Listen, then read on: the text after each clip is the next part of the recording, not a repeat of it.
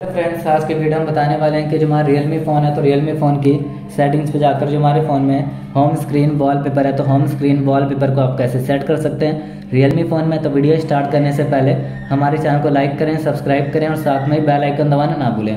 तो video start कर लेते हैं। तो आप देख सकते हैं कि फ़ोन के आइकन तरीके से शोर हैं तो आपको स्वाइप करना है। स्वाइप करते ही वाला आइकन सपने आएँगे। फिर आपको क्लिक कर देना है सेटिंग्स पे।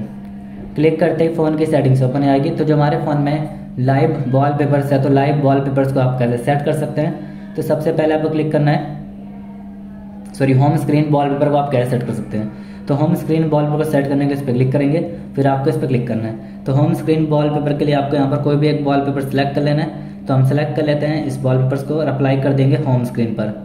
अप्लाई करते जो वॉल पेपर्स हमारी होम स्क्रीन पर सेट हो जाएगा इस तरीके से।